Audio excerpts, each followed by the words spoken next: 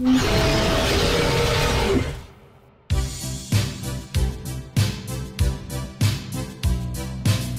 ho, ho.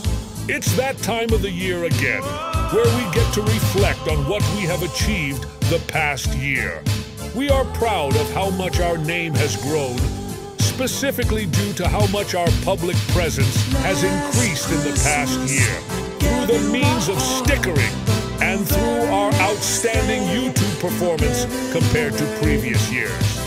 Jotunheim wishes all of our members, premium members, premium plus members, and board members a good Christmas and a good New Year. We look forward to giving our clients and employees more in 2024.